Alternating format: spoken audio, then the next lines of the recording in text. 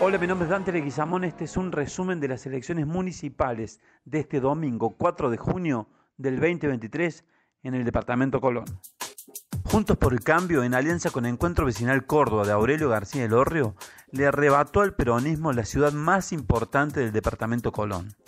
Ese será el titular en los diarios, pero no terminará de explicar qué pasó en la ciudad de La Calera, donde el nuevo intendente será Fernando Rambaldi. Bajo su nombre se columnaron además la UCR, el PRO, el Frente Cívico, el ARI, la Coalición Cívica y Primero la Gente. Rambaldi obtuvo cerca de los 8.000 votos.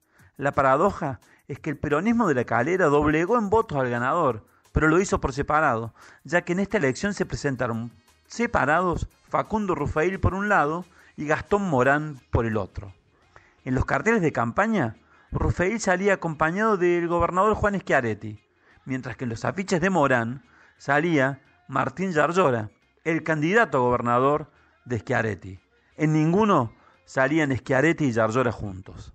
Aunque para muchos se trató de una disputa entre familiares, lo cierto es que lo que pasó en la calera fue una muestra de lo que ocurre cuando el peronismo no es capaz de ponerse de acuerdo, como ha ocurrido en varias ciudades del departamento Colón. Escuchemos al intendente electo de La Calera. El mensaje va para todos los vecinos de la ciudad de La Calera, para los 55 mil vecinos. No venimos a dividir, no vamos a mirar para atrás, no me importa quién me votó.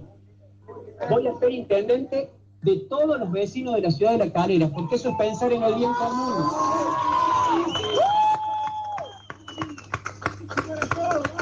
El mensaje que le quiero dar es que tenemos seis meses para organizarnos, que nos acompañen en esa organización, tenemos los equipos para devolverle a esta calera la grandeza que siempre tuvo, porque saben que la calera es una hermosa ciudad, la calera es una tierra de oportunidades, con gente buena, con gente honesta que quiere trabajar. Desde el Estado vamos a hacer todo lo posible para potenciar esa calera, a esa gente que realmente quiere crecer y que quiere, a esa gente que quiere crecer. Yo estoy contento. Miren, la única palabra que me viene, se lo digo con usted, es gracias. Es gracias. Gracias a esta enorme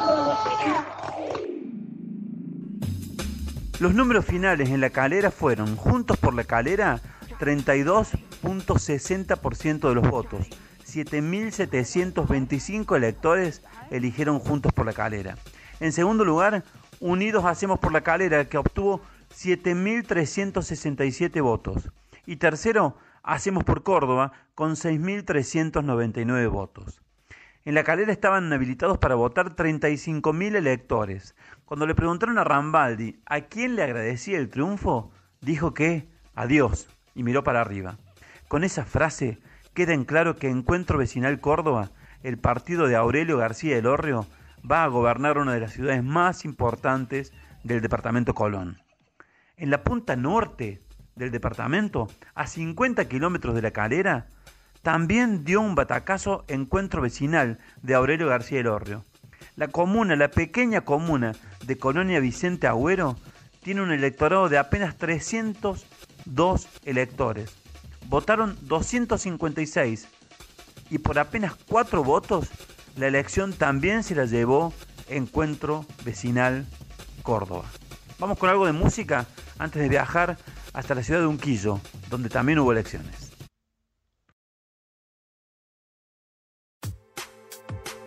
La otra ciudad importante del departamento donde se eligió intendente fue Unquillo, que fue retenida por el peronismo.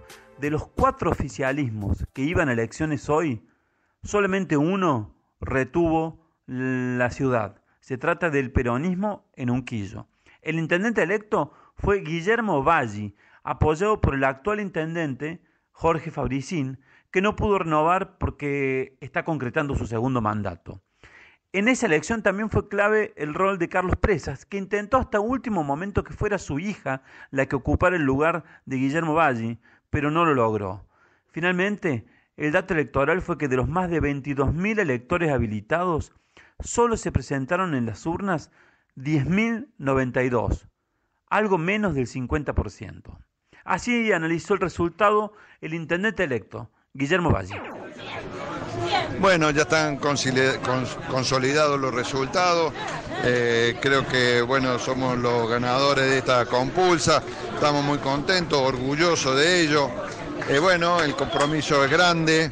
Eh, nos han dejado una vara muy alta, como digo siempre, y bueno, vamos a tratar de mantenerla y de que esto siga. Como dijimos este, en nuestra campaña, seguiremos haciendo y va a ser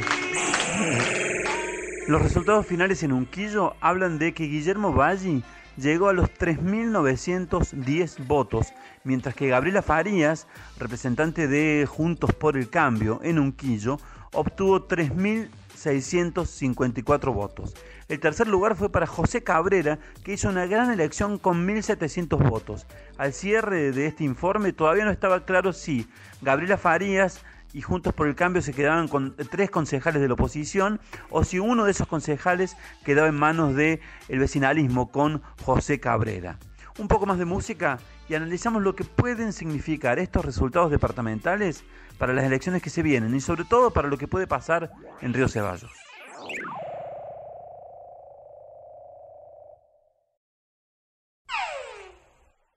La elección en la calera, con dos candidatos fuertes del peronismo, es el escenario más esperado por Ezequiel Lemos, el candidato de Juntos por el Cambio en Río Ceballos.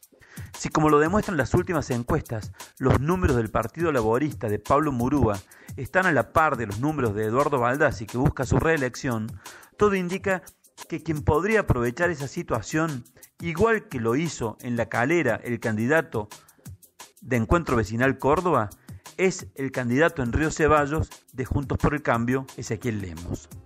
Esta posibilidad se acrecienta ahora que el candidato a gobernador Martín Yarlora ha decidido aportar su imagen a los dos candidatos del peronismo local.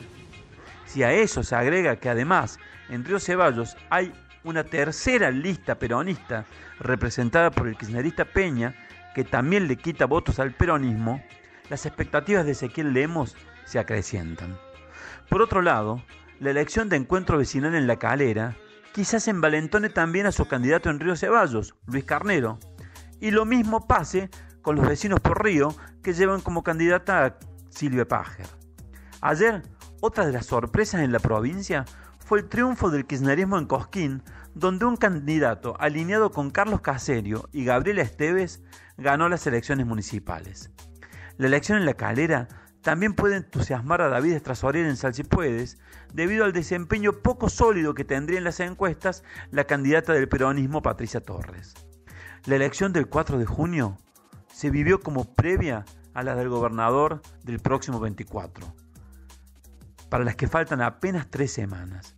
Sin embargo, mientras esto pasaba, los ojos de Juan Schiaretti, actual gobernador de Córdoba, estaban puestos en Buenos Aires, donde los referentes nacionales de Juntos por el Cambio, el antiperonismo, analizan si suman al peronismo gobernante de Córdoba, con la imagen de Juan Schiaretti, a una gran alianza antricá. ¿Qué hará Yarlora si eso se concreta? Cosas de la política. Nadie sabe qué pasa hasta que pasa. Mi nombre es Dante Leguizamón, esto es Buena Vista Radio en este domingo de elecciones y un análisis para los días por venir.